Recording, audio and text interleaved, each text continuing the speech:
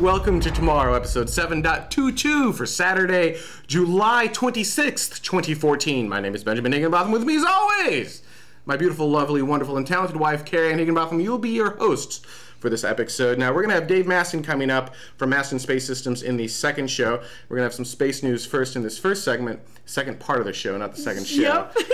like, We're- how many shows are we doing today? We're doing Ben? about five shows. It's going to be Okay. awesome. That's great. Uh, but before we get started, I want to give a huge shout out to the uh, patrons of TMRO who have Mm-hmm. helped make this specific segment of this show go. These are the people who have uh, contributed at least $10 to this specific episode. Once again, this list is getting longer. Huge thank you to absolutely everyone. We've reached our next Patreon goal. Uh, we're, we're really starting to get up there, and it's going to be exciting with some of the things that we're able to do. We are a crowd funded show, so every single dollar helps. All right, let's go ahead and get started with some space news. First up, this is just awesome. SpaceX is looking to make uh, rockets recoverable. So that you you launch it up into space you recover as much of the rocket as you can instead of throwing the whole thing into the ocean hopefully radically reducing the cost of space flight well what you're about to see is a first stage of a Falcon 9 coming back down over the ocean, extending its landing legs, and then plopping into the ocean gracefully. Here, check this out. I don't think there's any sound with this. I so like you said plopping gracefully. it goes plop. Uh, Like so I'll make I'll, I'll. I'll make engine noises. You got. Yeah. So this is these are the. Uh, thank okay, you. that's what it actually sounds like, though. Sure. I don't know. I'm not with the stage when it's coming back down. So these are the engines relighting as it comes back down. So it's it's engines first coming down. so amazing. Yeah. So you can see as the little thing says, Yeah. ice is now forming on the lens, which is a bit of a bummer. Um, it will kind of uh, ice and soot. I, I don't think they wanted to say soot because it is a uh, RP1. Uh, and then if you watch really carefully through all the soot and gook, you can actually see two of the four landing legs extend kind of in this next section. So we've got the center engine burning. And then in a moment, do it. There we go. Ah, Boom! bam! Two of the four legs extend. And now what it's going to do is it's going to basically, uh, you can see it actually, there's the engine kind of going right over the ocean. It, the ocean is then going to help put out the engine. The whole vehicle is going to topple over onto its side. And that's bad for rockets when they topple in the ocean. Generally not designed to do that. Although the solid rocket boosters of the space shuttle, they could topple. They could go in and Yeah. go whack. That's a, if you're interested in seeing something else that went up to space and got recovered like that, the solid segments of the space shuttle did something similar, uh, but they had parachutes and they would come back Yeah, down, and yeah. they they had cameras mounted on the side, and you can actually hit YouTube and watch that. Somebody in the chat room says that the legs look a bit floppy, and then somebody else responds with, actually, uh, it was just the first stage screaming out, woohoo! So that is uh, uh, that is a really cool. Uh, video and then one of the next steps necessary to get a reusable first stage for Falcon. And uh, they're getting a little bit further and further along. Hopefully, sometime soon, they'll be able to do that on land, which will be even more dramatic. One way or another, it will be even more dramatic. Uh, all right, we actually had a launch this last week. A Progress launched a Boyd, a Boyd a Soyuz rocket. Check it out.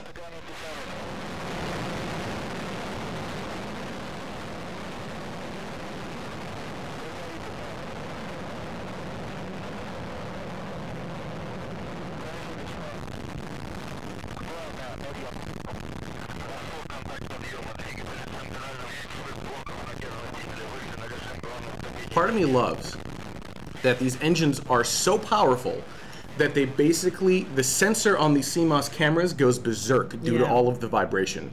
Uh, I, it's just it's really cool for me to see that. And, yeah, you know this footage in particular but I, a lot of a lot of launches but for some reason this footage right here in particular is so cinematic to me Hmm.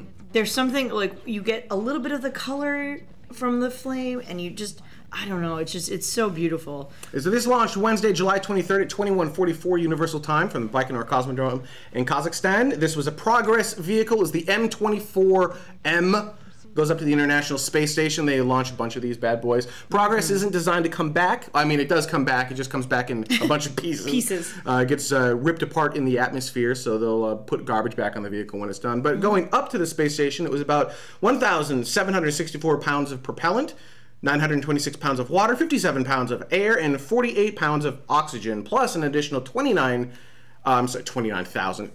2,910, that'd be impressive. Wow. 2,910 pounds of supplies, spare parts, and experimental hardware. And then this was one of those fast approaches to the space station. Nice. So instead of taking three days, it actually docked to the space station, I'm sorry, berthed to the space station a little bit later on at 0331 Universal Time. Very nice. And uh, yeah, so. Uh, there you go. That happened this last week. And uh, speaking of, happened. so this last show, the last show that we had, we talked about uh, a Soyuz launched the Foton M4 Mm-hmm. spacecraft.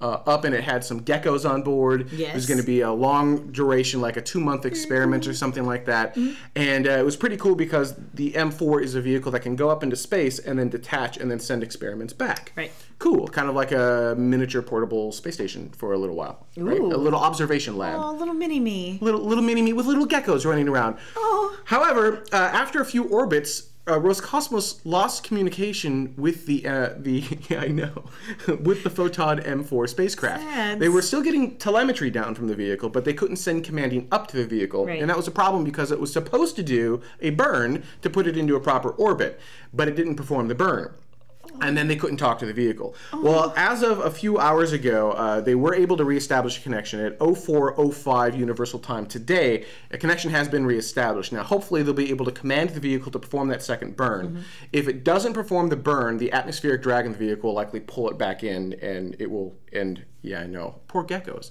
Poor geckos. Uh, but if they are able to command the vehicle to burn and figure out what actually had happened, uh, then they'll the experiment should be able to continue on as it was supposed to for the next few months, and then it's like uh, sexually charged geckos in space. Nice. Pretty much what it is. Well, what Everything about this story is really weird. it's.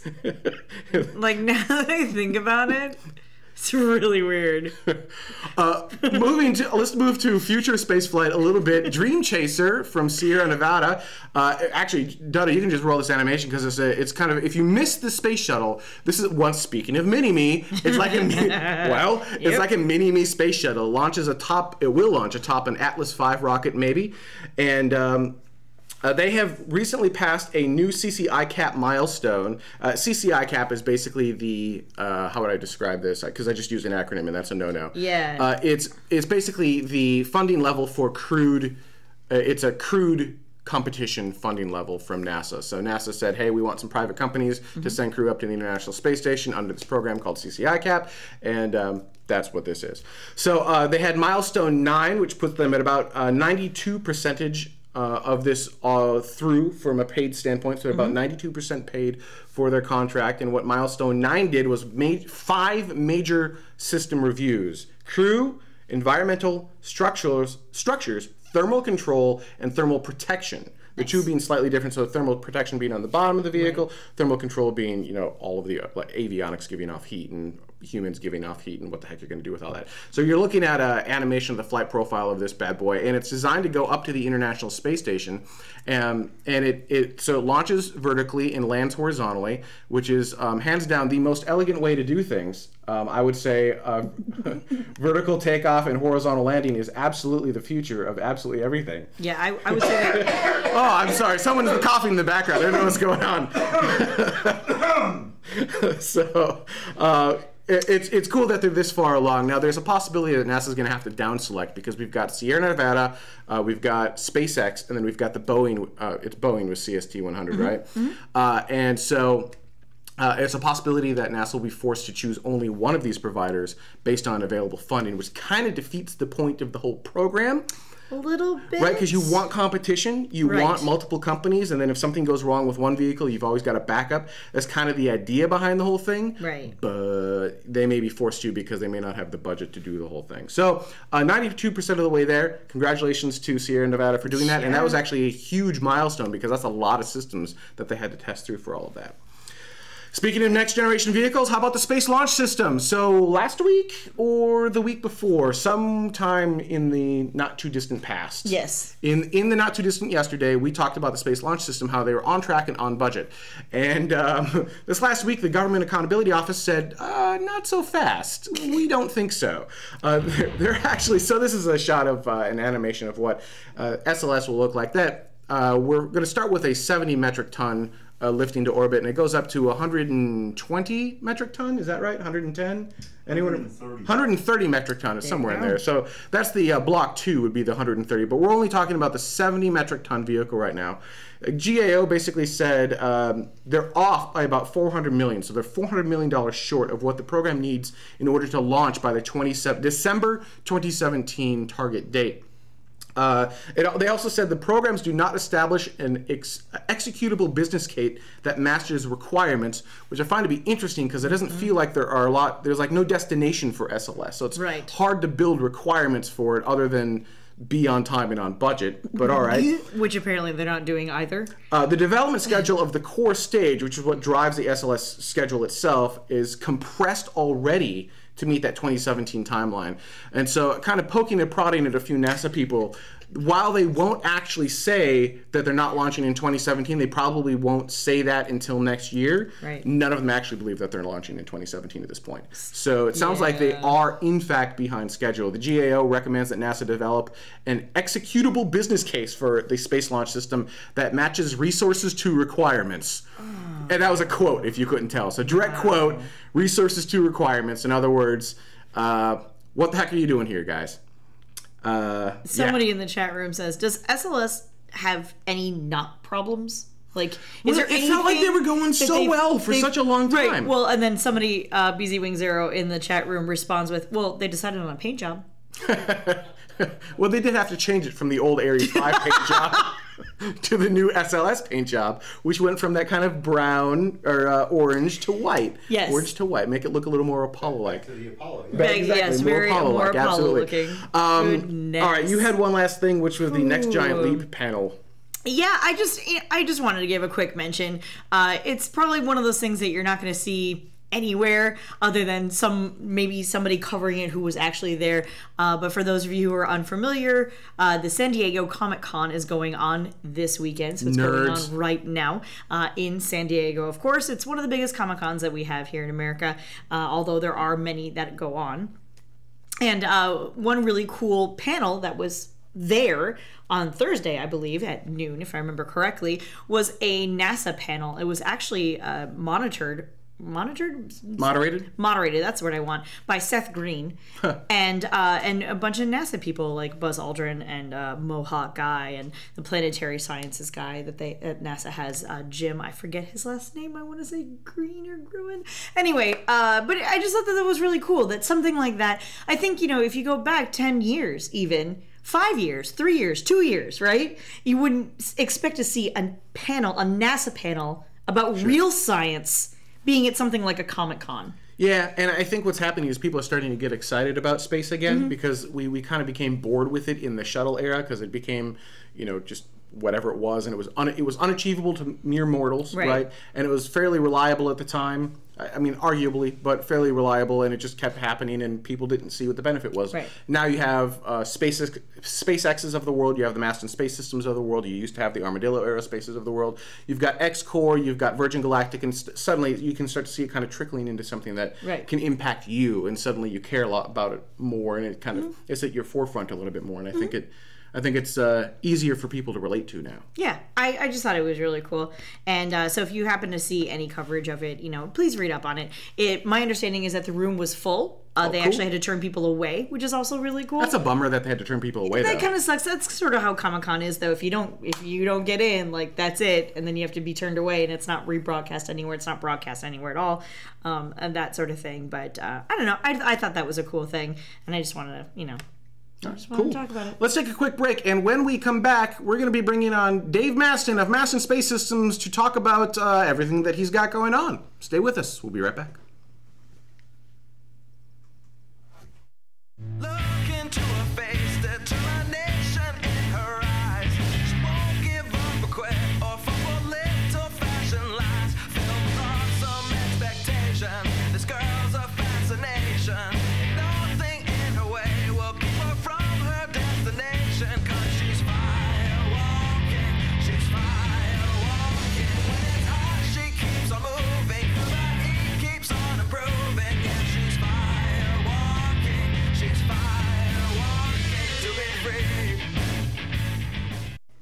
And welcome back to TMRO. Now, before we get started talking to Sir Dave Masten, I'd like to thank all the patrons of TMRO who have helped to make this specific specific segment of TMRO happen. These are all the patrons who have contributed at least $5 to this specific episode. And if you'd like more information on how you can help make these episodes happen week after week, go to patreon.com slash TMRO. Now, I'd like to welcome Dave Masten to our set. It's been a while since you were here. You were actually here when we were uh, directly to your left, not that anyone can tell, um, using like webcams and just like whatever we could hobble together. So uh, it's been a little while since you've been Yeah, on. yeah. Uh, so welcome back first off, and for anyone who's new, could you describe who Masten Space Systems is for us? So, Masten Space Systems is a little company I started 10, over 10 years ago now Oh wow. um, to develop reusable uh, rockets to uh, lower the, the cost of access to space and, and provide transportation services throughout the solar system. Uh, we've been working on this for 10 years now. We've developed I don't know how many generations of engines, um, and we are now uh, flying our fourth reusable launch vehicle. So Is that the one that you're using for DARPA?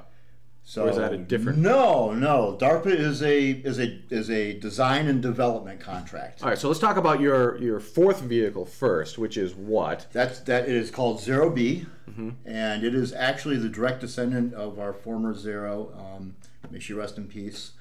Um, but it's it's basically a, a simple suborbital vehicle. Tests out the ability to go supersonic Mm-hmm. and control itself in flight uh, with some with aerodynamic control surfaces, not just the rocket engine gimbaling. um, because you know we got to turn off the rocket engine at some point and and fly through the air. So that's, that is going to happen. Is this also doing the autonomous landing as well? Yes, yes. so- we're so- still doing autonomous landing. And that's yes. kind of a big deal. I don't think many others are really doing that. Could you describe what you're doing with autonomous landing and So- what, what that even means? So yeah, so uh, going back to the uh, earlier um, comments about horizontal landing and all that garbage, just to poke at um, you, just to poke at you. yeah, so we- we're actually landing vertically. I mean, it's it's you know, come in, pretend my Mountain Dew can is a rocket. Mm-hmm. Um, I, I wish Pepsi would sponsor us and make it. Pepsi, here's an idea. um, you know, come in and land vertically and uh, land on a dime. Basically, we land regularly within less than an inch. Um, Oh, wow. Where we're of where we're targeting. So now our our current problem is, of course, we land with less than an inch, but we have a little bit of bounce in our landing gear. So we you know we end up six inches away from where we Imperial units, really, Dave? Imperial units? I can use any any units you want to use, but uh, most people understand the imperial units better than the SI units. Yes, we are. Uh, our navigation is capable of, of remaining within two centimeters. But it's not just it's not just pinpointing your landing, which which is important, especially if you're trying to bring uh, something large. Like you look at Falcon 9, that's a big, huge gas tank with lots of very hazardous materials on them. You got Yes. you've got fuel and uh, oxidizer still in mass on that vehicle. If it comes down and it's way off, that's bad. That would be true of your vehicles as well. So, well, nominally, I mean, smaller, you smaller. know, I mean, our vehicles are smaller, but um, yeah, I mean, the, the pinpoint landing uh, gives us some advantages in that you know you can say, hey, you are going to land on this flat concrete pad instead of landing on you know the brush in the desert or. But that's where your autonomous stuff is cool because if it goes, actually, that's not a flat concrete pad. You can your vehicle can make real time decisions without the ground. Yes, yes. And um, actually, uh, we did uh, uh, some pre- press releases. I'm not sure it really came out in the press release very well. The um, we did some recent flights for Astrobotic, one of the GLXP teams, and we actually flew an algorithm on board that said if Astrobotic Astrobotic was picking a landing site based on, on what it's doing. I mean, it's the test. It's saying, hey, scan the ground. What is where is a safe place to land? That's where we want to land we actually were also running an algorithm to keep our vehicle safe, saying, is, you know, we know what the good landing spots are. Mm-hmm. Um, and then we have a guidance algorithm saying, okay, if I accept what uh, where Astrobotic's uh, device told us to go, can I generate a trajectory to get to that point in real time while I'm f- screaming through the air about ready to hit the ground, can I suddenly adjust my trajectory, calculate a new trajectory, and, and, and touch down on that point? Can you translate that same technology to somewhere like Mars, right? Because you look. Yes. Let's, let's use Apollo 11 as an example, right? So that, that, that, that it's actually we did our own implementation of stuff we tested for JPL, which is very sim- similar, and JPL is testing that out for Mars. It's the idea of hey, we're coming in. You know, when you're at Mars, when you're coming into Mars, you don't have a GPS system, and so they they start taking pictures. They start doing the terrain relative navigation. And again, it's just like with Astrobotic, uh, all of these groups are, are doing pretty much the same thing okay, where where are we in reality? You know, our IMU is going to give us one answer.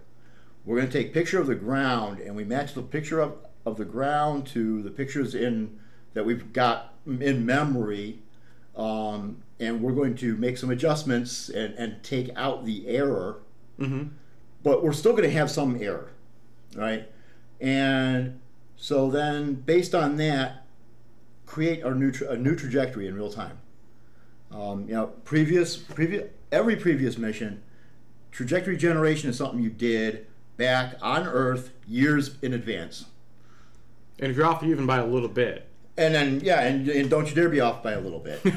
well, actually, you can be off by a little bit because you just had to make sure that your trajectory was could be off by a little bit, and you'd still be okay. so that actually But that up- creates huge landing ellipses, and now you have to choose. like Curiosity, right? It had to land Yeah. in this huge flat area and then drive for what was it, a year? Had to drive for like a better part of a year. Driving and driving and driving. Yeah, exactly. Yeah, to, to get to its actual site that it wanted to be at with your software, in theory, on paper, it'd be able to go, okay, well, actually, we can get much closer to the landing site because we narrow that down to a much smaller range and we can make real time yes. decisions. Yes.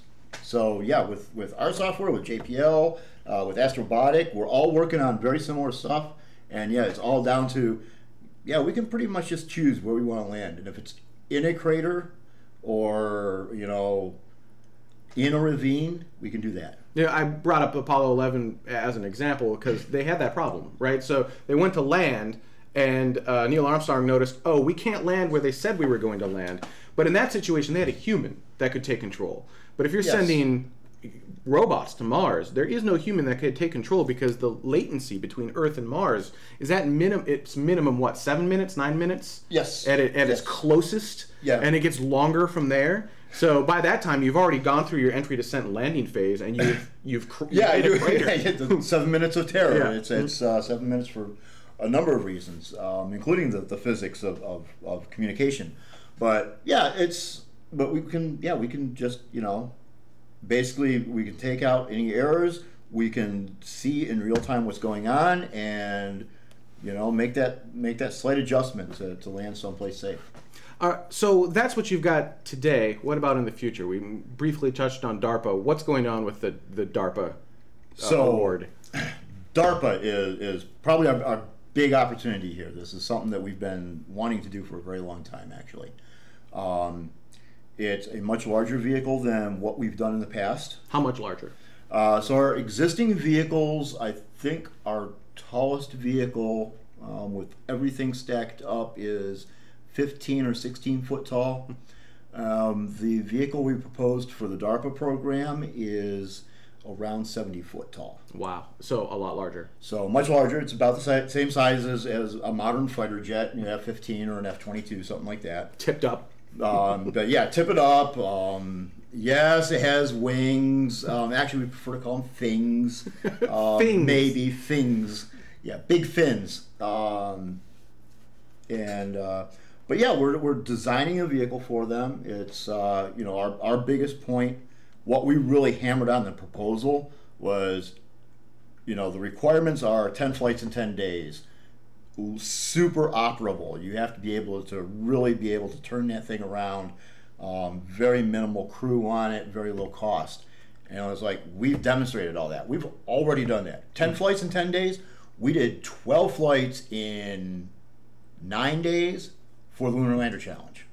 But that's a much smaller vehicle. But that is a much smaller vehicle. I mean, it doesn't scale Uh, actually one to it one, does. does it? It does. We Okay. can scale, and it's not scaling one to one. Okay. It's scaling.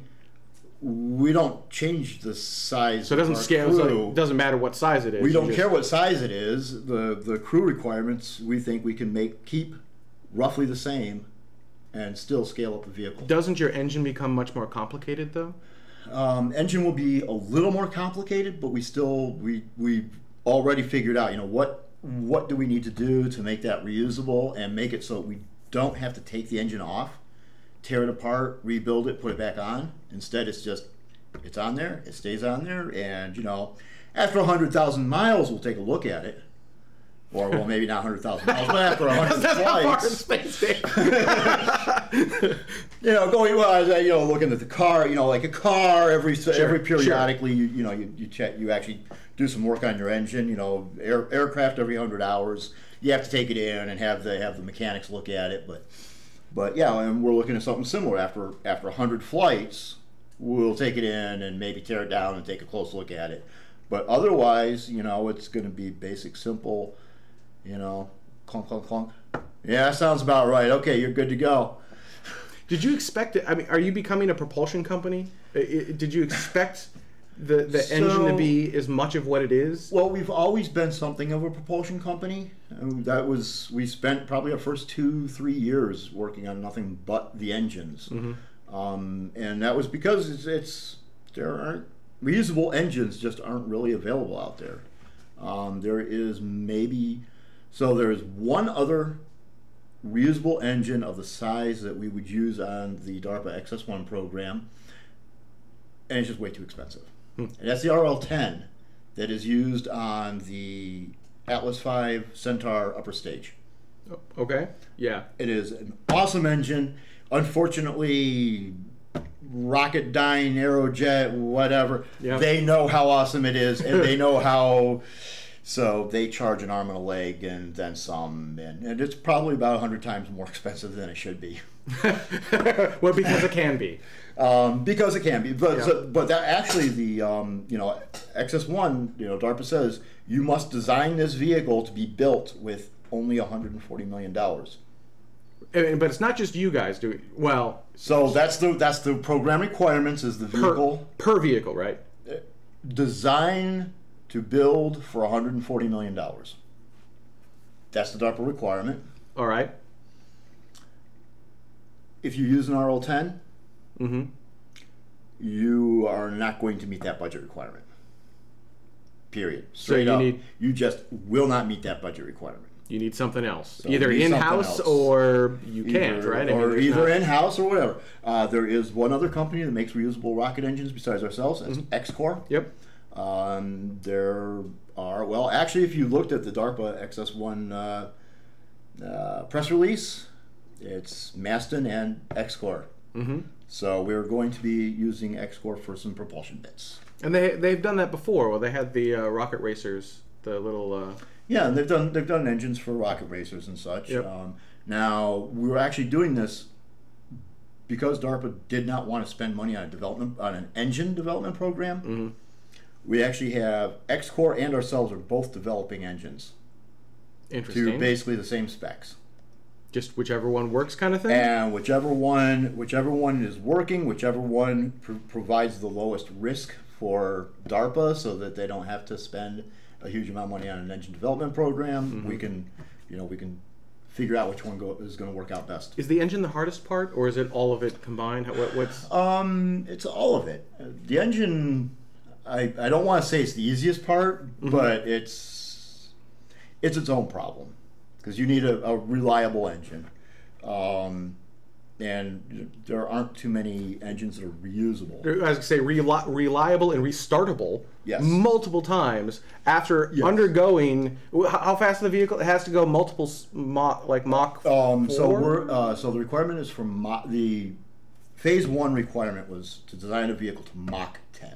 Mach 10. So, to, to simplify that, you have to create a vehicle, a whole transport system, that will Yes. be able to go to Mach 10, engine structures and all, come back, Yes. land somehow. I don't think Right. they care if you go horizontal or They- vertical. they do not care They just want you you to land, land, right? just as long as you land. So you have to go from Mach 10 back to zero on land, and then within, uh, what was it, a 10 day time frame?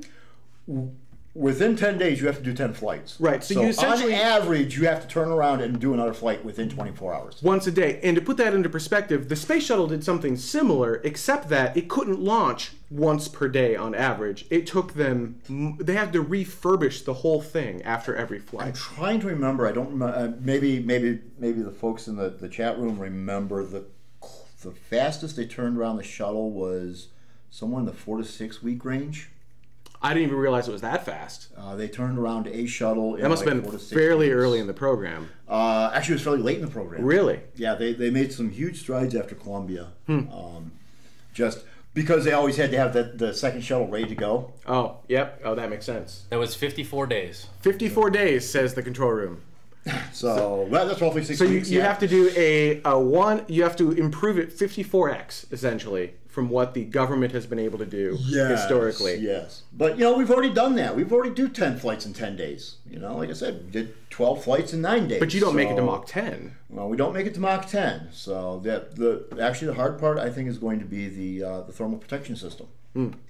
Um, you know, we're going Mach ten. One of the things they, that DARPA wants us to look at is um, the ability to transfer this uh, vehicle into doing hypersonic testing for the Air Force to be able to test scramjets and other hypersonic technologies.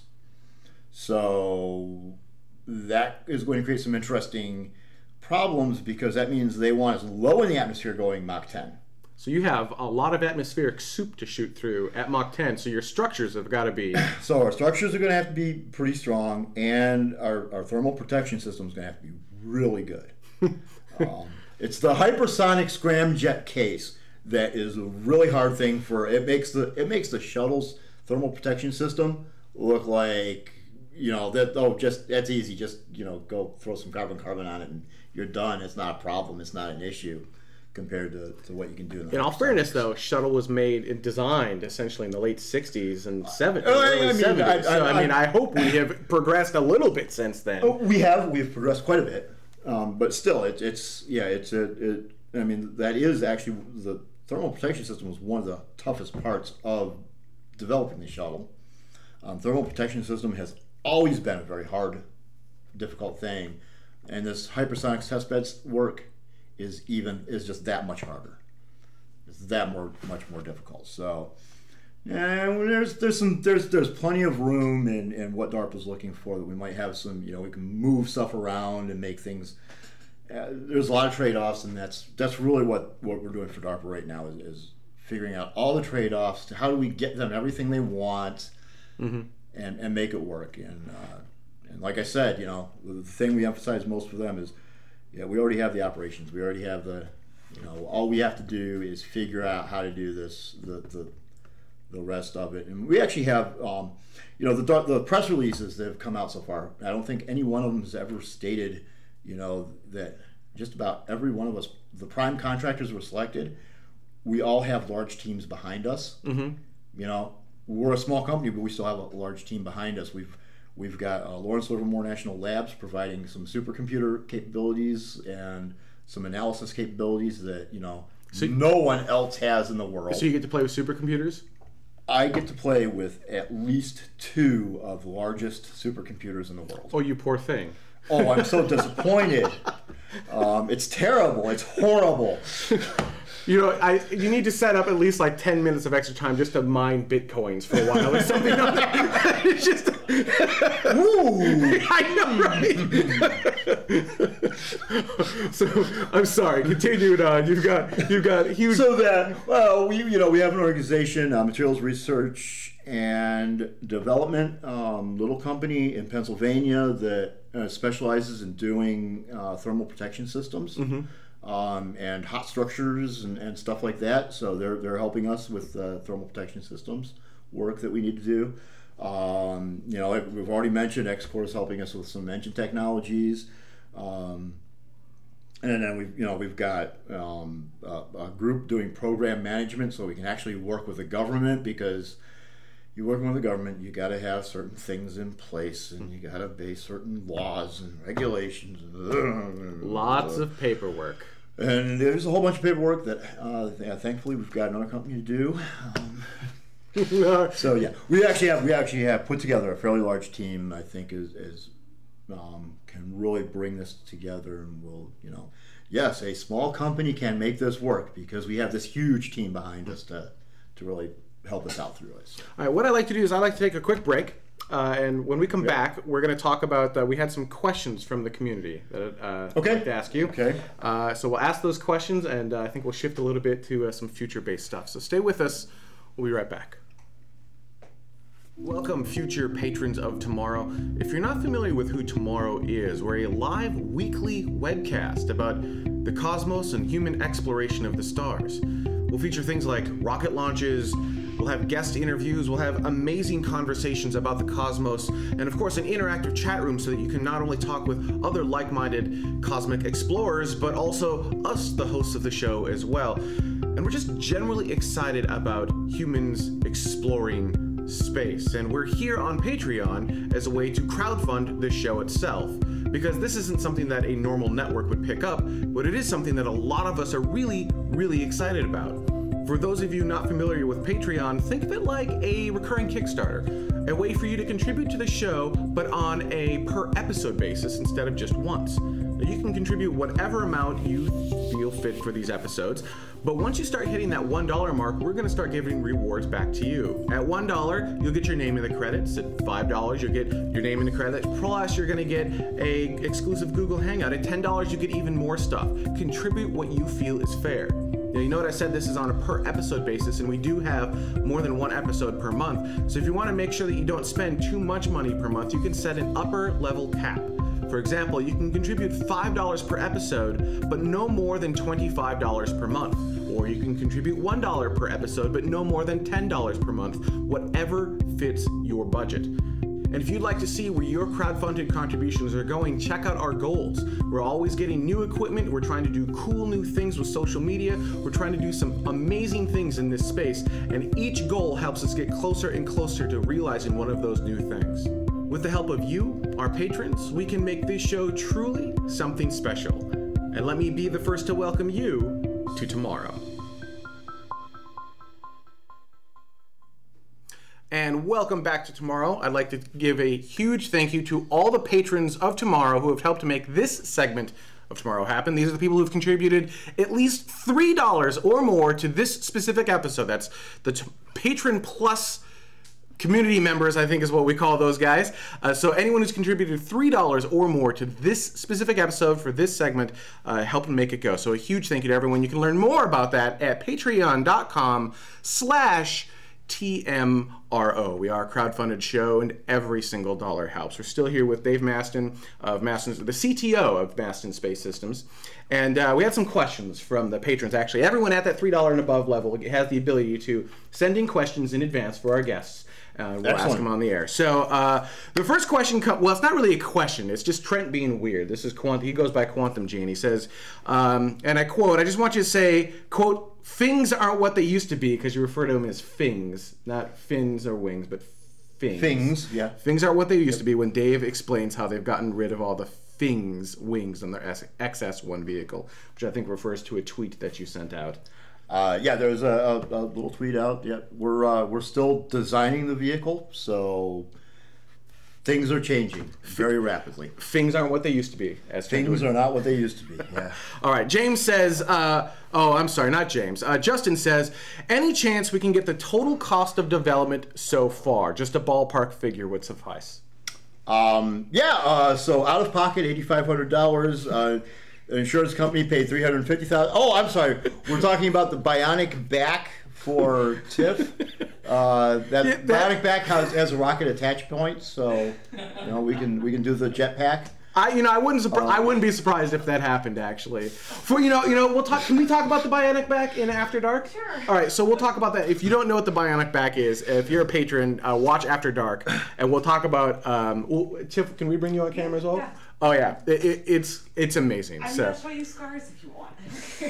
yeah, I mean there was there was no context. Justin gave us no context, so technically you Yeah. did actually answer the question. Um, no, so development cost. Uh, um, I don't know which uh, development cost you're looking for. Um, I think we're right around between ten and twelve million dollars uh, spent on developing rocket engines and rocket vehicles um, over a period of ten years, uh, probably a little over that now. I don't know. Yeah, I'm for I you know I I'm now the CTO rather than the CEO for a very good reason. I don't do very well with counting the money. Um, I do much better with designing and saying here's how we're gonna hold the cost down um, and the you know the strength up. That's that's what I do. So that's why I'm CTO now not CEO. So. You liking it more CTO? So I'm I really I'm loving my job a whole hell of a lot better. Um, You like making the things, not. Uh, I like I like making them. I like I, I prefer to make them. Uh, definitely. Cool. All right, this comes from Chris Radcliffe. He says, I'm probably late to the party, but the XS1, that's your DARPA vehicle, looks fundamentally different from previous Masten craft, specifically the plane part of the space plane. Does Masten plan to bring in a n- new people or partner with another company for that aspect of Xephyr? So yeah, that, that's I mean. And there you go. There's a, talking. There's a picture of it, right? The the Yeah. space plane. So got wings. So yeah, notice notice up in the uh, corner there it says artist uh, artist concept. Um, so yeah, that's you know I'm gonna blame some artist. Um, Silly artists. Don't know what they're doing. silly artists don't know what they're doing. Just throw stuff together in CAD, make it look pretty. um, no, actually, um, you know the wings are are that you know they're talking about low cost and needs to be reusable and and at the industry day they actually talked about doing everything is just you know you take off from point A and you land somewhere downrange, which at Mach 10 um, they showed us some uh, different ranges. Um, one of those was from Dugway Proving Ground in Utah to um, where was it? I don't even recall where they flew to, but it actually overflew a couple major cities um, and, and landed maybe a thousand miles downrange. Um, and I looked at that and said, no, if we're going to meet the cost goals, you know, one of the cost goals is, is you got to be able to use this as a booster for a system that is going to launch a 3,000 pound satellite to, or five, from three to 5,000 pounds of satellite into orbit for a cost of less than $5 million. If I want to hold my cost down, I can't just land downrange because that means I need a whole second set of infrastructure.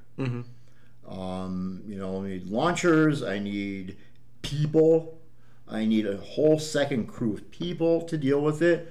Um, I can't, I'm not just flying once, I'm actually flying twice because once I get downrange, I have to come back uprange to get ready for the next one. Um, and, you know, so this all adds up, and all of a sudden you're you're you're, you're expensive again. So we have to re- so we want to return to the launch site. Well, you have to get back to the launch site somehow. So you know, a little uh, little extra lift over.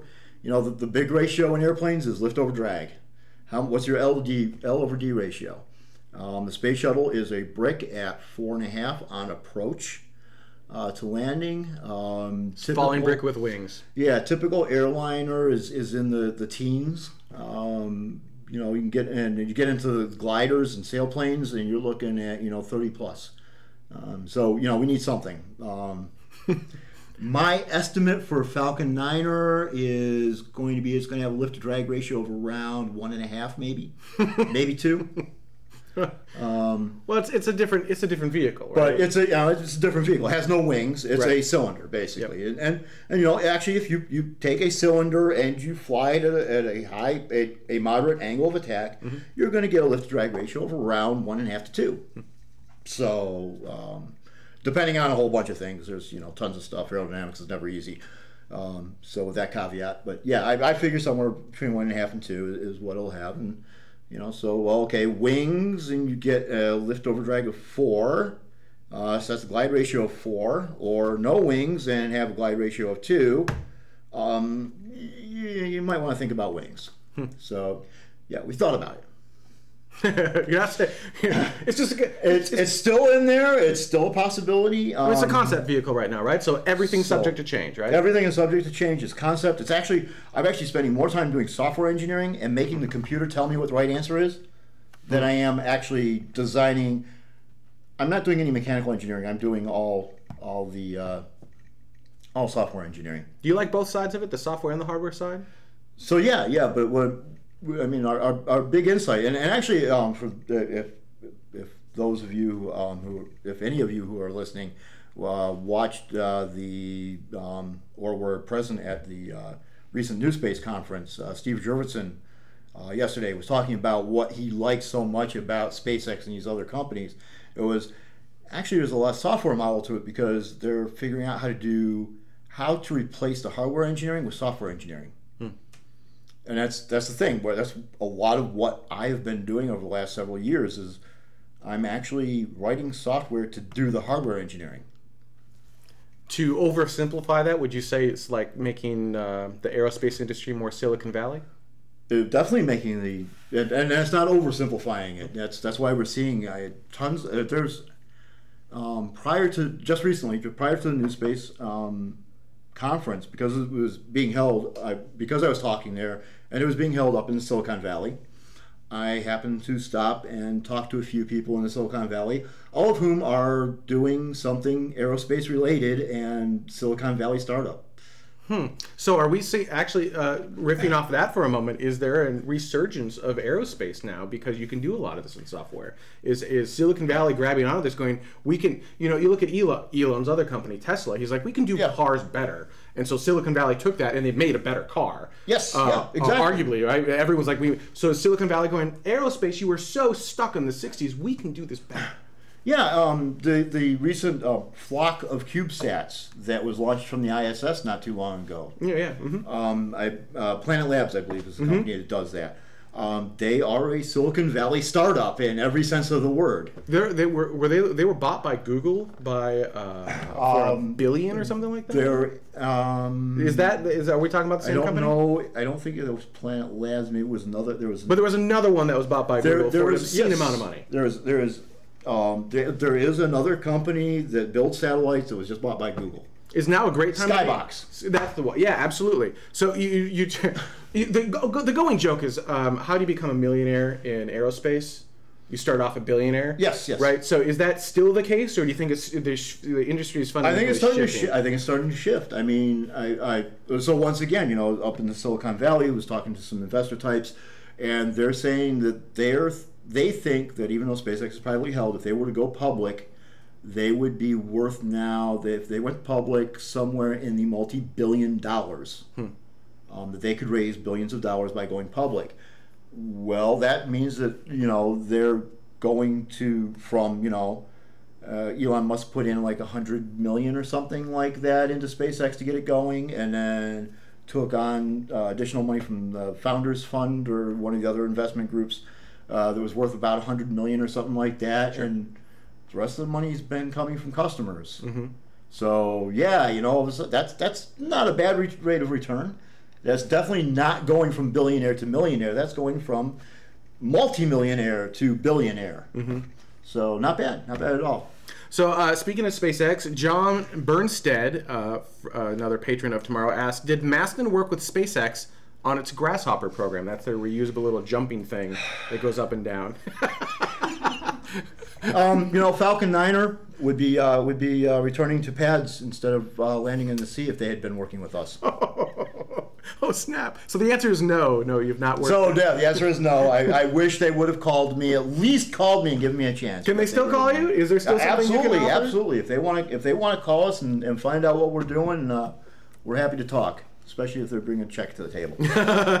well, that's that's the thing with aerospace, right? It's all about. Well, I think assume with any company, but with aerospace, you know, hardware costs are expensive, and what Yep. you're doing is complicated, and that costs money. So, you know, money funneling into this industry is a good thing. Yes. Uh, and with Absolutely. with the Silicon Valley kind of mentality startup, does that just putting more money into the global industry and kind of all ships are rising with it, or is it just shifting the money around to another area? That's going to be a tough question to answer because so many times you start seeing stuff starting to boom, Yep. and then you find out that actually it was just everybody shuffling money back and forth between each other. Ah. Yep. rather than actually getting actually creating value and bringing money in. Mm-hmm. But I, I think we're seeing some actual creation of value and starting to actually get money to come in from other other places. Well, that's good. That's good. That's great for the so industry. that is that is excellent for the industry. I mean, well, I mean, for one thing, uh, we actually, you know, SpaceX now has on their launch manifest and is actually launching commercial satellites where that money would not have been coming into the United States at all. We've been going to Ariane space, most likely. It would, yeah, Ariane space or going going to Russia, um, yeah, for a, a Dnepr or a uh, Soyuz launch vehicle.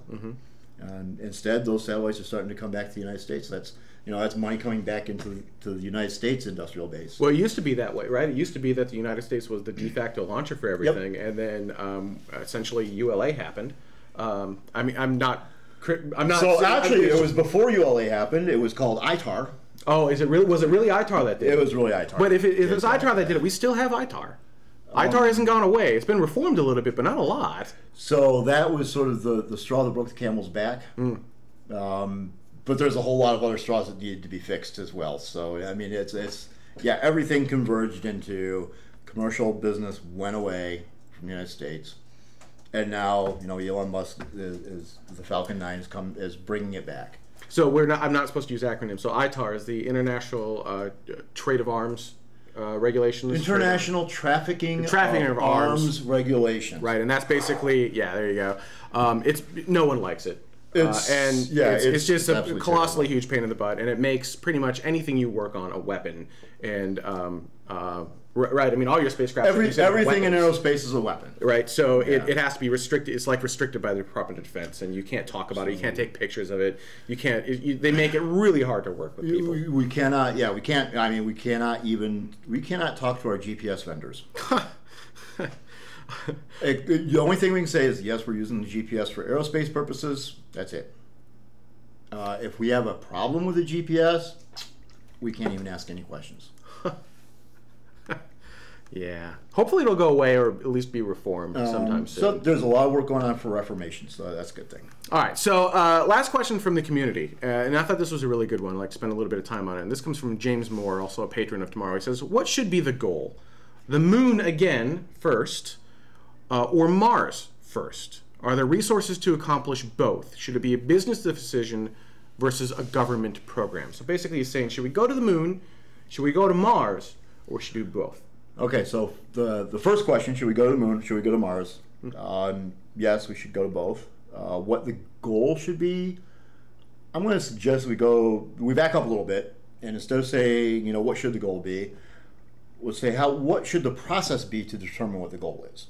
Uh, this is crazy. Somebody who hates process and just wants to build things is actually saying this, but we have a process for determining what the goal is, and that is, you know, some senator on the science committee um, in the Senate, or you know, whatever committee is that handles science and NASA, um, basically says, "I think this is going to be the goal," and they fight with the president, and the president fights back, and and you know, every four years or eight years, everything changes up, and We're going to the moon. Wait, no, no, no. Now we're doing an asteroid. No, wait, wait, wait. No, two years left of the asteroid. Now we're going back to the moon. Yeah, so it, it's. How about we do it the way Science Mission Directorate does it? Okay. Decadal survey. Who are the truly interested parties? Who are the leaders of those parties? Bring them together and figure out what are the goals for the next decade and how do we do it. Um, so, you know, for, for human exploration, I would imagine that you have scientists, just like for the, the Science Mission Directorate's decadal survey. But then you're also going to have politicians because, let's face it, we've been using well, ever ever since the announcement of Apollo, we have been using space, civil space, as a political tool um, to deal with international policy. So Russia's therefore, are the Russian engines. we still have we still are doing that. It, that is a major issue. Um, it is also a major, um, you know, potential really good thing as well as a bad thing. Um, so you know, there are policy, legitimate policy goals can be advanced through civil space. So therefore, you're going to have some have the policy wonks and the politicians, you know, on on this group figuring out the decadal survey, and also the business leaders. You know, Elon Musk made it clear he wants to send 80,000 people or more or less to Mars and create a huge colony and start, you know, and start moving humanity off Earth. And I would love to go survey Elon Musk's retirement home. um, so, you know, I, I don't want to be the pioneer. I'm not a pioneer. I'm an explorer. Um, so I want to go there, survey his retirement home. I'm going to return back here and retire here, but on Earth. But you know that's okay if he wants to. Uh, give him all the tools, and he can take his rockets and his eighty thousand people, and they can go to Mars. And I'm going to keep rooting for him. Terraform the heck out of it. But at any rate, I mean, that's you know, we okay. We've got myself and, and Elon at least are interested in you know how do we get to Mars? What you know, maybe we should be inputting that into the decadal survey. Maybe we should be informing some opinion about what NASA's doing. So yeah, there you go. They've got scientists, politicians, and business leaders. Mm-hmm. Um, you know, talking talking together and, and working out and doing things in a decadal survey fashion. And maybe that's how they should, you know, NASA should choose where to go next.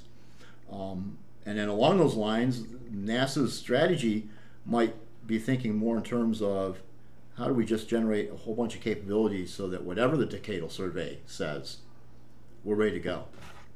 So you're saying maybe NASA doesn't build the rockets; they build the infrastructure. They build the roads to Mars. Um, maybe they develop the technologies. Maybe they do some technology development work, uh, more of a NACA model rather than the, the, the Apollo model. So NACA being the agency before NASA. That's so again the, Yep. the getting rid of the acronyms here. Uh, that would be I, you know, I don't remember what NACA stood for. Do you? I don't. Uh, let's, let's. I'm going to look that up. National Really. National Air Civil. The C is civil, I believe. Uh, nah, I'm not going to be able to find it. Oh wait. Uh, National Advisory Committee for Aeron- Aeronautics, NACA. Okay, there we go. And it was prior to NASA. It was Yes. before NASA was formed. NACA basically molded into NASA. Yes. Yeah. Um, but it was it was a, an excellent organization. It was you know really advanced aeronautics, um, tremendously.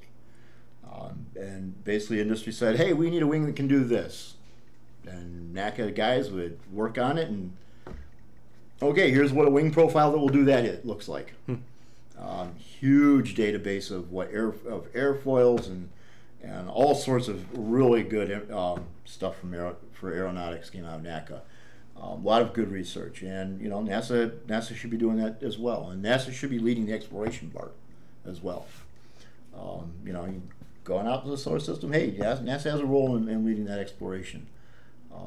Doing the things that don't make business sense today, but advance the country and humanity as a whole. Yeah, yeah, to- exactly, yeah. exactly. It's it's it's you know the seriously advanced technologies that that I as a business person cannot put my money into yet, mm-hmm. um, and bring it a little bit closer to the point where oh hey I, I, I can I can see some use for that technology now. I, I, I can I know what to do with it now. I can take that risk. Can we can we get there though? Do you think that would that's even possible? I mean, we've got NASA. NASA's a political tool at this point, just inside the U.S., right? I mean, it's a, it's a jobs program for a lot of senators. Um, yeah, it, it is. Um, yeah, well, I'm not faulting NASA. I'm just saying that well, that's, welfare that's for aerospace. Um, yeah, yeah. That's a great way to put it. I, I hate to say it, but that well, that that is that's what we're seeing right now. I mean, that's um, Can we get out of that though? Can we can we break from those shackles? um, one way or another. Yes, um, we may not like how it goes about it. I mean, we may end up without an NASA at all. all. I, I, I don't feel like that's good though. I mean, that, I, I don't that think seems- that's good because that means that Elon and myself and um, and and yeah, actually the folks at ULA um, are all going to be stuck footing our own bill, taking risks that maybe the market really doesn't want us to take, but we're going to go ahead and take anyway because you know Elon Elon will do whatever he wants to do. Uh, Well, he has the means to do it at this and, point. and he has the means to do it. Um, I don't have all the means to do it, but you should talk to some of my uh, the rest of my management team who occasionally complain that I'm not manageable. So, I, yeah, a- an interesting takeaway because we in the space industry so sometimes get so caught up on well, you know, NASA's the big enemy, or ULA is the big enemy, or new space is the big enemy. But at the end of the day, we all need each other. It sounds like. Well, You know, So- we, we need a NASA, and we do kind of need all of these companies to work together and entities to work together if we do want to advance out into the stars. yeah, yeah. I, I mean, I've, I've done some some interesting studies on advancing some exploration. Um, you know, figuring out okay, hey, we can actually do this for a much lower cost. It doesn't have to be, you know, billions of dollars to, for example, send humans back to the moon. Um, now, some of those studies I've done were, hey, I need an Atlas V, I need a Falcon Heavy, Um, I need some technologies that um, you know th- that my company has been developing. I need some I need some technologies that I, I know exist at JPL and at uh, Johnson Space Center. Um, and I know that you know we can bring all the. I mean, well, we actually have a name for it. It's called XEUS. Um, With an X. with an X, X E U S. Um, you know, I, I believe I talked about it on this show the last time I was Yep. on. Um, you know, and that required that required NASA, it required ULA, it required SpaceX, um, and we were actively talking to everybody. I think I don't think we actually were talking to SpaceX at that point. Um, I don't think we have talked to SpaceX about it, but everybody else we, we you know have all have had in the same room and and we're on telecons on a regular basis for a long time figuring out how do we make this work um, and i would love to get that going again because it was right at the end we said hey it would be really nice if we had falcon heavy to support this You know, going to, to one other part of that question, which at, at the end, basically it was, should we do the moon or Mars? And you had mentioned before the show, um, almost neither. Um, you should do it all, um, no, and don't stop there. And you had a very good phrase, and I don't remember what it was. It was uh, like explore the galaxy, or so well i mean you know if you see me on twitter you know that I'm, i intend on dominating the solar system um, you, there needs to be an evil laugh after that. yeah, there you go. Yeah. um, you know, I'm only half joking, and the part I'm joking about is the domination. Um, you know, I don't need to dominate things. I'm not that kind of guy. Um, but being everywhere in the solar system is, is something I really want to do. Oh, I, I remember. Um, if you're thinking about changing the world, you're thinking too small. I'm going to change the solar system. That's uh, we need to be going not only to moon, not only to Mars, but what about what about floating colonies on, on Venus? What about you know just you know sending some spacecraft there and you know spending a little bit of time at that one Earth atmosphere level Yep. Um, and and figure out what is actually going on there. What is the weather like there? Can we make? Can we build large blimp cities? Floating at, at one Floating. G, like up, up, floating up. there in the atmosphere where you know you have approximately the atmosphere similar as to what you have on at the surface of the earth mm-hmm. um, you know obviously i think for venus that would put you at a scale height of somewhere around 100 kilometers i think actually so interesting you're in space on, on venus where the uh, atmosphere is the right density for humans um, Well, it solves a lot of things. It makes it, in some regards, it's easier than Mars. Um, other than the floating, like keeping it up at 100 kilometers, So your pressure is correct. actually, it makes everything so much easier because your pressure is correct. You have a ton of volatiles just floating around you, um, all the volatiles that you need. Mm-hmm. Um, the temperatures are actually fairly reasonable at that altitude. What's fairly reasonable? Um, I don't recall what the actual temperatures are, but they're not the 900 degrees Fahrenheit. Because the surface of Venus, Of for those who don't know, is unreasonable. Uh, there's only been one successful craft there from Russia. Uh, Yeah. and uh, Yeah. I don't remember its name. Do you remember? I don't recall it I don't either. I'm sure the chat room would tell me in a moment. And it landed, and it worked for like 10 minutes. yeah, I was gonna say just uh, just And a then- few minutes. It worked for like 10 minutes, and then it was just destroyed by the planet. And, Yeah. and that's all we've ever been able to do with Venus. Yeah, the- but at about 100 kilometers up, it's a very different, very different thing. Yeah, very different. Um, uh, well, I like to, to remind, keep sort of the mnemonic is 900 at 900 on the surface of Venus. 900 degrees Fahrenheit at 900 psi. Okay. That's That's the surface? That's the surface atmospheric conditions. Uh, Venera, right? Venera. Okay, Venera, yeah, yeah. That was the that was the probe that we that Russia sent. Um, Uh, Actually, was Venera the Russian probe? hang on. There was a probe, There was a probe. That, Look there it were up. multiple probes that uh, went to Venus. Uh, but only one- of one. them. Only one of them sent any information back from the surface. yes. So, um, So- uh, but other places, right? So Saturn's a gas giant. So what can you do with Saturn? So Saturn. So uh, there's, I mean, there's a ton of science missions. Can't land on it because gas giant. Well, what about the moons? Touche. All right. Uh, I mean, the the science missions. I, I I'm I am I am eager for the next decadal survey uh, for the Science Mission Directorate to see which moons they say are the most important to get get to. Um, we have Enceladus, we have Titan, we have um, uh, going to Europa. Jovian or Europa. Um, are all there's, there's some little bit of infighting in the amongst the science community about which which moons are most most worthwhile to go to. So we as a space community need to get to a point where it's not Moon or Mars first, but where it's it's where are we going next? It's, It- It's not this or that. It's it's let's do well, let's just do all of it, right? Yeah, let's do a bunch of them. We should be going out. We should. And there's absolutely no reason why we can't have some astronauts going working on some asteroids while a couple of others are headed towards Mars. And uh, you know, there's a huge group of astronauts working something incredible on on the moon. Um, this all needs to be happening. And really, I, I think so. To a certain extent, I, I mean, I'm going to have to say there is going to have to be a first. Um, either the moon or the asteroids. it doesn't really matter. We need to get um, a propellant depot into um, the Earth Moon Lagrange point two. L two. So, L2. Yep. EM Lagrange, L2. Yep. Um, in fact, this was floated uh, a trial balloon floated by NASA about a year and a half ago, maybe. Um, they called it the M- EML2 Gateway. Okay. Um, it's really nice because if you're going to the outer, outer, if you're going anywhere in the solar system, actually, um, you maneuver away from the, the from EML two. Um, you fall back to the Earth, and as you hit perigee, you hit your thrusters, and you can slingshot yourself it out to Mars at like one third of the amount of delta V you need, typically need to go from straight from LEO.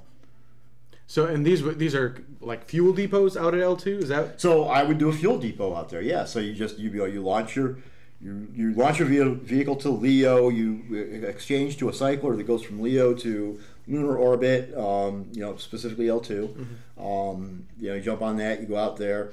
Um, and then you get onto another vehicle that goes from there out to wherever in the solar system you're going to. I just realized some people may not know what a Lagrange point is, but it's basically the, the simple version is you you don't need any.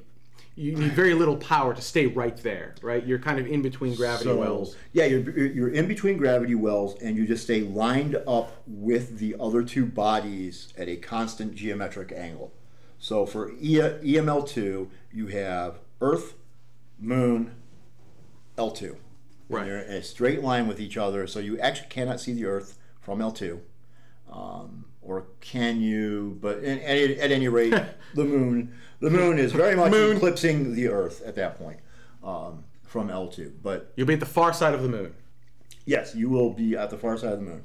Always. Always the far side. You it's the exact opposite problem of Earth, where you've got the near side of the moon. You will always see the far side of the moon. Yes, yes. And but the advantage being that you don't you don't need like uh, satellites right now need propellant. They have to you know they're in geos. Yeah, you can pretty much you, you do. just hang out there. yeah, you, you, you actually set yourself up in an orbit around that point. Mm-hmm. Um, but yeah, you just basically hang there and, and you know very small amount of propellant to keep yourself um, just circling that one point. Uh, it's a very small circle around that point, and uh, Use it as a fuel depot. and technically your, it's not it's not circle, but minor details. Um, is it an octagon? Is it a what? It's sort of kidney shape, if if I recall. Oh, all right, all right, yeah, all right. Um, it, it, it, it, it's, it's, yeah, it's kind of funky, but uh, you know, the, yeah, all, all the orbital mechanical details that are a pain in the butt to figure out. Um, so you have your fuel depot at L two, and you use that as your gateway to the rest of the solar system. yes, yes. Um, typically, it's a little over three kilometers per second to go from LEO to Mars. Mm-hmm. So, for example, the Curiosity mission um, was around 3,200 meters per second, 3.2 kilometers per second, uh, to get to, to to do the burn to go from Earth to Mars. Um, with the EML2 gateway, you can actually use the Oberth effect as you slingshot around the Earth, and you now only need to do 1,000 meters per second of delta V. And that means less fuel. Means A lot less it fuel. means that you can make, either make a smaller vehicle or you can make your vehicle larger with more habitation room. Yes. I mean, you- there are many ways you can run that, but basically, less power required is it Yes. better all Yep. the way around. And on top of that, you have your um, you have your your propellant depot at the L2 point. Um, I can do round trips to and from the lunar surface and pick up water ice off the lunar poles. So you grab the you grab your propellant because you can use water to create liquid hydrogen. Liquid hydrogen, liquid ox- oxygen, liquid from oxygen, your, from which your is- water. Yep. Uh, so you use water for that, which we found water on the moon. It was um, LCROSS, I think that Yep. uh, verified. We have, that. we have we've We ver- verified it nine thousand times now. We, we have now verified, we have now done enough different verifications of water that the scientists may still be hemming and hawing, but every engineer that's looking at it is like, you know, we can pretty much count on there being water. so you've We got, know there's water. You got water. You extract it into the fuels, which means you don't need to bring it from Earth, which means you don't have to escape Earth's gravity well. Yep. Which means that now you've got this fuel depot. You refuel your vehicle. You go off to Mars, and you may even have enough fuel on board. Or depending upon how you build your vehicle, you could have a stage that uh, uses methane that you can use the the material Use on Mars to get back. I mean, there are many different ways to do that. Whatever, and there's Sure. tons of ISR. So basically, now you're just talking about ISRU. You're gonna have to set that up on the moon. You're gonna set that up on Mars. But Uh, know, in situ resource utilization. Yes, yes. Sorry, sorry. No, no, it's all right. It's all right. I just want to make sure we. we so the thing, that's- so, so, uh, we're going to take a quick break here, and we're going to do viewer comments. We'll bring you back in after dark, and we'll keep having this conversation. So, um, anyone who's a patron of tomorrow at the three dollar plus level, they'll be able to continue that uh, conversation. And then about a month from now, we'll release the after dark to ev- everyone, so it's all inclusive. Uh, but uh, I wanted to point out, you know, in the aerospace industry, we like to use acronyms. It does two things. One is it makes our life simple because some of these things become long and complicated. Uh, but two, it actually makes it um, uh, harder for everyone else to be kind of part of the in crowd, if that makes any. So it becomes this exclusive club, and we try to not let that happen here because this is this is for everyone, right? This is this is for the benefit of all humanity, and uh, we don't want to Yeah, create. the real intention here is is to actually just keep it short. No, of course, absolutely. But there, there, are there are two two two. yeah, but yeah. All right, so let's take a quick break. Uh, when we come back, comments from our, uh, unless I we, we were yeah we were we were we had nailed that part. But uh, all right, yeah, cool. I was making sure. All right, so we'll bring you back in after dark. We're going to take a quick break. When we come back, comments from our last week's show. Stay with us. We'll be right back. one, zero. Liftoff. The fleet of space shuttles were doing amazing things in space. We've got all your space geekery right here. And welcome back to Tomorrow. Uh, I'd like to thank all of the patrons of Tomorrow who have helped make this specific segment of Tomorrow happen. And these are all the patrons who have contributed $1 to Tomorrow. I'm saying tomorrow a lot to this specific episode, uh, and you can learn more information on that at patreon.com/slash tmro. That's right, even a dollar gets your name in the show. Well, right? yeah. How cool is that? Get your name in the show, and it helps us a great deal. We are completely, well, almost completely crowdfunded. There is some ad revenue, but there's actually a Patreon goal that removes the uh, the ad revenue, so it's just an ad free show. Mm-hmm. Uh, I continue to be amazed at how incredible the crowdfunding community is, and uh, how much we're able to do, how much more we're able to do with crowdfunding Yeah. than we were ever able to do with advertising revenue. And uh, it, a huge thank you to everyone who contributes to the show week after week. Uh, more information on that at patreon.com slash TMRO. All right, let's do some of our uh, questions from our last show. Our first one actually comes from Patreon. This is from Cole, Pal- Cole Palmer, who says, easy so for me to say. easy for you to say. Jeez. Uh, Cole asks, "What are the white puffs that look like whales' blowhole coming out of the side of the rocket at liftoff?" So, in order to get uh, thrust on a rocket, you strap two whales to either side. Yeah, that's And what they- those big that's what things those are big on things the side. on the side. They're Yeah. called solid. No, um, so Solid whale boosters. the fuel, solid whale boosters. The fuels on the vehicle are cryogenically cooled. They're super freaking cold. They boil off at like negative 150 degrees, Mm-hmm. right? So we've put these really cold fuels in the vehicle, liquid, um, liquid uh, oxygen Mm-hmm. on that particular vehicle. And what's happening is it's slowly warming up and turning to a gaseous form. And as it turns to gas, it's expanding, creating additional pressure, which you don't want. And so those are pressure relief valves. And so you're seeing the gas, the, the gas form of the liquid oxygen is gaseous oxygen, shoot out the side of the vehicle. That's normal. It's designed to do that.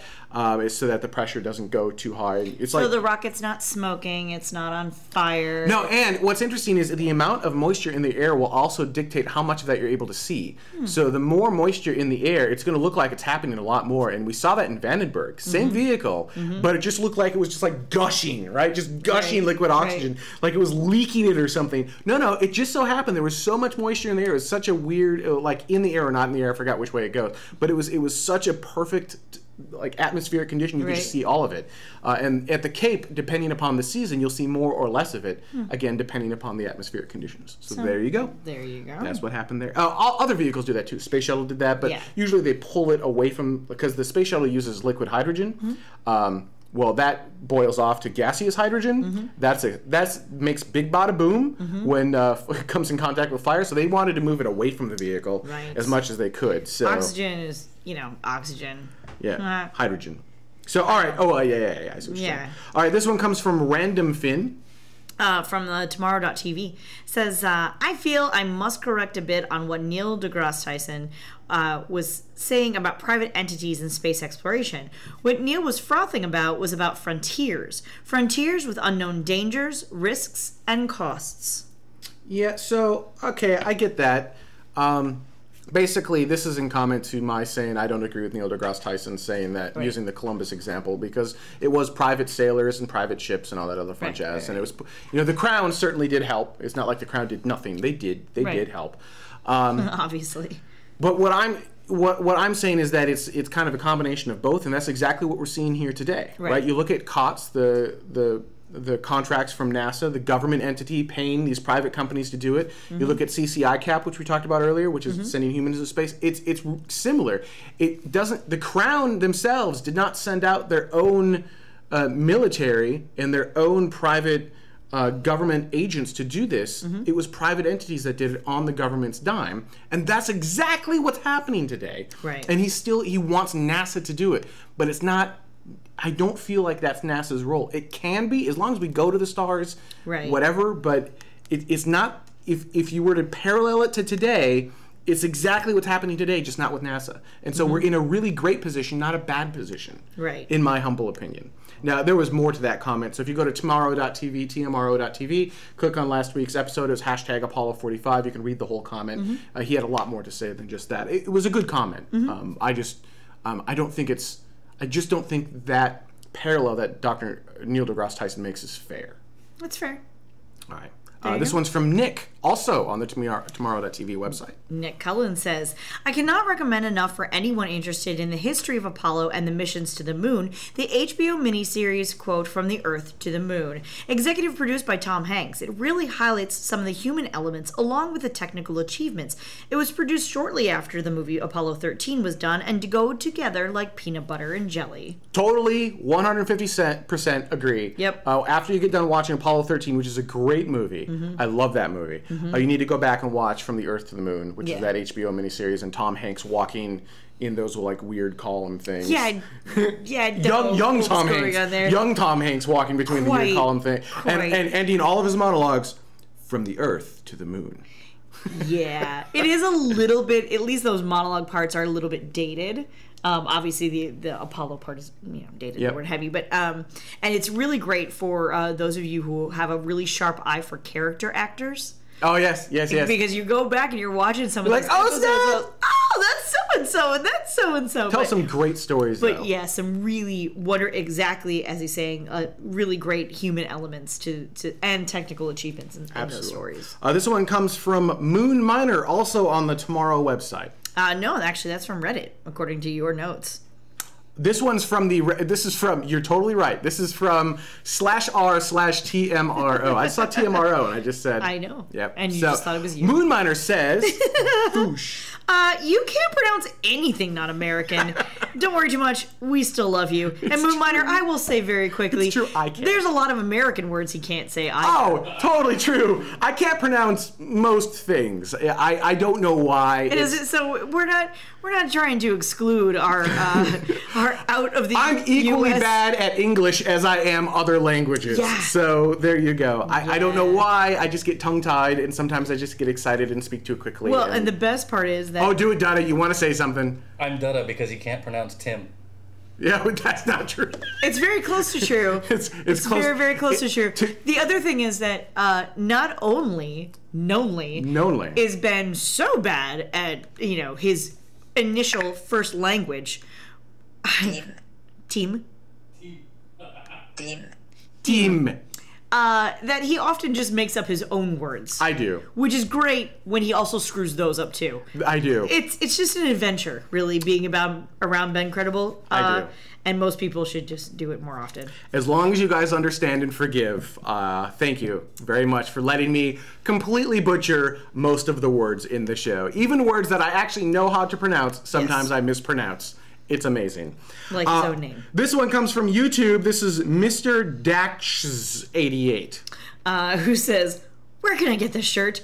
Please tell me. Do you guys sell merchandise? Uh, we do not sell merchandise yet. I've always thought it would actually be a good idea to open a tomorrow store because I think we have a really cool logo and I like how the, the whole font's coming together. And my plan is to do that once we finalize the tomorrow logo.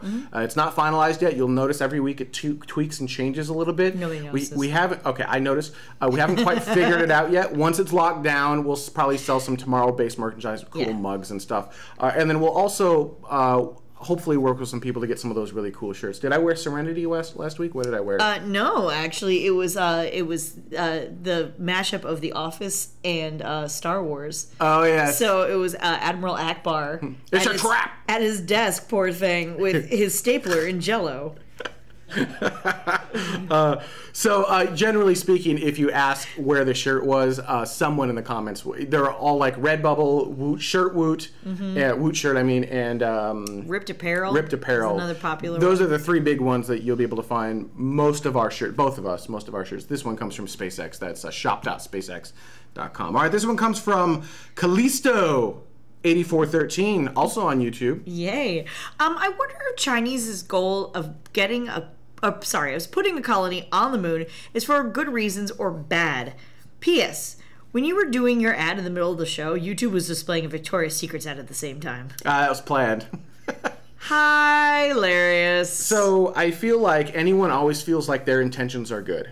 Right? You don't you don't go, you know what? We're going to do nefarious things on the moon. So saying good intentions or bad intentions, it depends Right. on what side of that particular coin you're sitting on.